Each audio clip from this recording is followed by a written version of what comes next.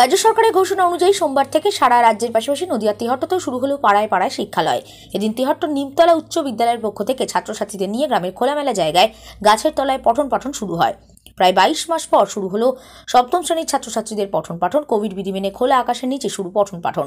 শিক্ষক শিক্ষিকারা বলেন, স্কুল খুলে দেওয়াকে সমর্থন জানালেও পাড়ায় শিক্ষালয়ের কনসেপ্ট গ্রহণযোগ্য নয়। কারণ, পাড়ায় শিক্ষালয় মানে ফাঁকা মাঠ। এতে ছাত্ররা সুরক্ষিত নয়, এতে ক্ষতি হবে। পড়াশোনায় মনোযোগ দিতে পারবে না তাই আমরা এবং ছাত্রছাত্রীরা চাই স্কুলে ক্লাসে শুরু হোক পড়াশোনা। এমনই প্রতিক্রিয়া নিমতলা হাই স্কুলের ভারপ্রাপ্ত প্রধান শিক্ষক সুবোধ চন্দ্র বিশ্বাসের। নদিয়ার তেহট্ট থেকে সমীরণ বিশ্বাসের রিপোর্ট স্টিং নিউজ। রুমে ওটা একটু বেশিই ভালো লাগবে। আর স্কুলের ভেতর করলে তো খুবই ভালো হয়। এই যে মাঠের শিক্ষালয় হচ্ছে এতে তোমাদের কোনো অসুবিধা হচ্ছে? না কোনো অসুবিধা হচ্ছে না। তোমার নাম? আমার নাম মিত্রা হালদার। কোন কি সেভেন। মাঠের মধ্যে হওয়ার থেকে ক্লাসের মধ্যে হওয়া ভালো কারণ কারণ এখানে ব্ল্যাকবোর্ড নেই তো মাঠের মাঠের মধ্যে হওয়ার থেকে ক্লাসের মধ্যে হওয়া ভালো। তোমার নাম? সোমা হালদার। সেভেন। তিন তারিখ থেকে আমাদের আনুষ্ঠানিকভাবে শিক্ষা প্রতিষ্ঠানের শিক্ষা শুরু হয়েছে শিক্ষাদান শুরু হয়েছে। এ খুবই ভালো দিক বলব দীর্ঘদিন বাদে স্কুল আঙ্গিনায় আমাদের প্রিয় ছাত্রছাত্রী তারা আসতে পারছে। এটা যেমন আমাদেরও খুশি দিক, আমাদের প্রিয় ছাত্রছাত্রীরা খুব খুশিতে তারা আছে, খুব আনন্দ উপভোগ করছে।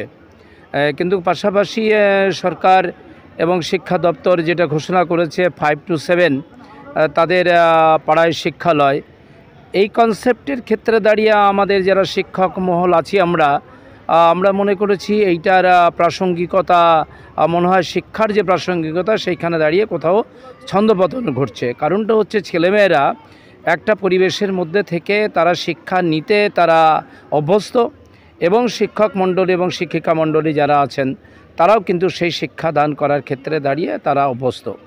ফলত এই মুহূর্তে দাঁড়িয়ে সরকারিভাবে যে ঘোষণা হয়েছে পাড়ায় শিক্ষালয়, তা পাড়ায় শিক্ষালয় হলো তো কোনো গাছের নিচে করতে হবে।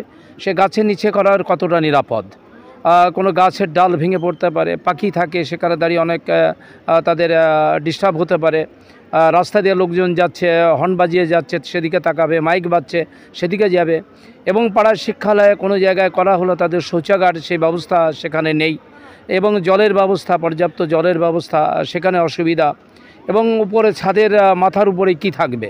মাথার উপরে কিছু থাকা দরকার সেটাও নেই। চারিদিকে ঘেরার ব্যবস্থা সেটাও নেই। বসার ক্ষেত্রেও দাঁড়িয়ে অসুবিধা।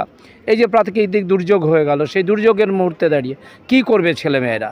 ফলত আমার মনে হয় যে শিক্ষা দপ্তর এবং মাননীয় পশ্চিমবঙ্গ সরকার যে ভাবনাটা করেছেন, যে বিষয়টা তারা ভেবেছেন সেই বিষয়টা থেকে মনে হয় বেরিয়ে এসে আবার ছেলেমেয়েদেরকে শিক্ষার আঙ্গিনায় তাদের প্রবেশ করিয়ে ক্লাসরুমে তাদের শিক্ষাদানটা করা দরকার। তবেই কিন্তু যে উদ্দেশ্য নিয়ে আমরা এই শিক্ষার ব্যবস্থাটাকে উন্নত করতে চাইছি আমরা সেই জায়গা করতে পারব বলে আমাদের মনে হয়েছে।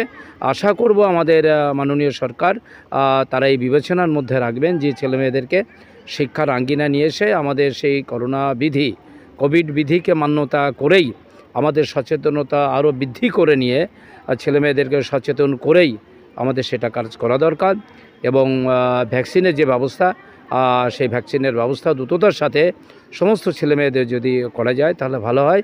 তাহলে আবার শিক্ষার যে পরিবেশ, সেই পরিবেশটা অনেকটা সমাদৃত হবে শিক্ষার পরিবেশটা, মানুষের কাছে গ্রহণযোগ্য হবে, শিক্ষক, সে মাননীয় শিক্ষক, শিক্ষিকাদের কাছে এবং আমাদের প্রিয় ছাত্রছাত্রীর কাছে গ্রহণযোগ্যতার একটা শীর্ষে অবস্থান করবে বলে আমার মনে হয়েছে।